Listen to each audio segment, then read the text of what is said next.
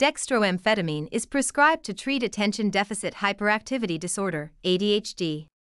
Dextroamphetamine, DAMP, is a central nervous system, CNS, stimulant, and an amphetamine enantiomer that is prescribed for the treatment of attention deficit hyperactivity disorder, ADHD, and narcolepsy.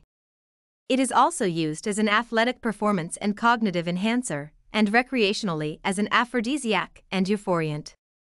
Dextroamphetamine was also used in the past by some countries' military forces to fight fatigue during extended combat operations. The amphetamine molecule exists as two enantiomers, levoamphetamine and dextroamphetamine. Dextroamphetamine is the dextrorotatory, or right-handed, enantiomer and exhibits more pronounced effects on the central nervous system than levoamphetamine. Pharmaceutical dextroamphetamine sulfate is available as both a brand name and generic drug in a variety of dosage forms. Dextroamphetamine is sometimes prescribed as the inactive prodrug lisdexamfetamine dimesylate, which is converted into dextroamphetamine after absorption.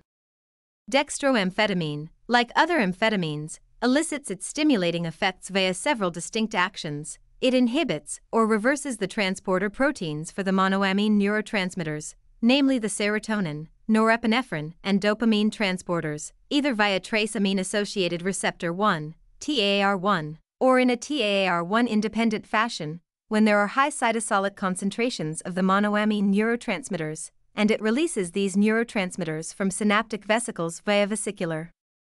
Monoamine transporter 2. It also shares many chemical and pharmacological properties with human trace amines, particularly phenethylamine and N-methylphenethylamine, the latter being an isomer of amphetamine produced within the human body.